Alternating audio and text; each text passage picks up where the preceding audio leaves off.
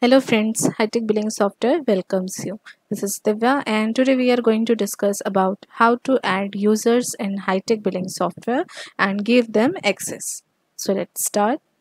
For, for adding in user and providing the access, just click on setting, then on users, click on star user management tool.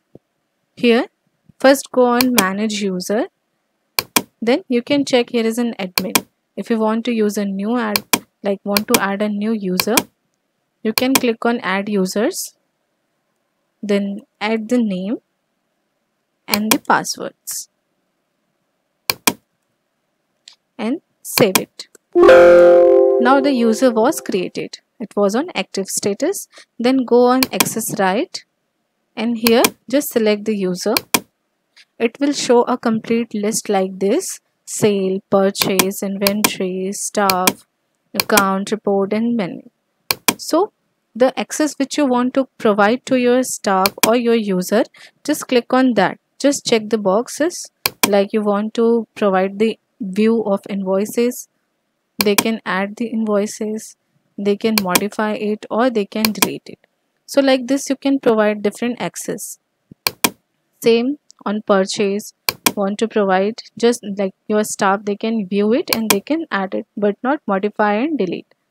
So like this you can provide different access to your staff. Then just save it. Now it was saved. Then you need to log out.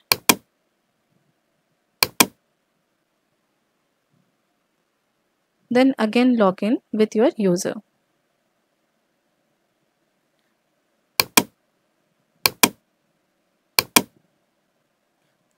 so give the name and the password. So it will log in with that particular user with the same access the access which you had provided. You can check here. There is only a certain limits of using the software. Sale. On sale they can make a new invoices. They can make the invoices here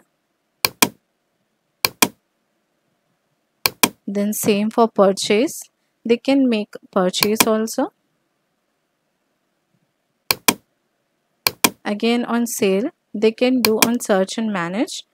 They can view it they can print modify it and they can also delete. And on purchase they can do the things. So like this you can provide different access. Then again log out with the user ID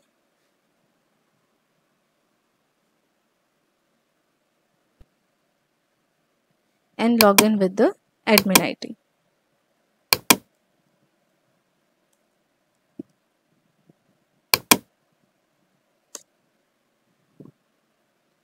So now like this you can provide different access to your staff, to your users.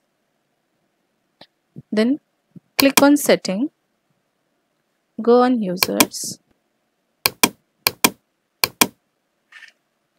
Like this you can provide different access to your users purchase inventory staff account report master configuration different one. And also if you click on if you want to provide admin role to your user you can provide admin role also. So when you click on admin role and then it will override to the access which you had provided previously if you want to uh, like provide a read-only access you can provide the read-only access also so like this you can add your users your multiple users and provide them access so just do it and if you have any query you can contact us thank you for watching subscribe कीजिए hitech YouTube channel को और press कीजिए इस bell icon को ताकि आपको मिल सके हमारे लेटेस्ट वीडियो सबसे पहले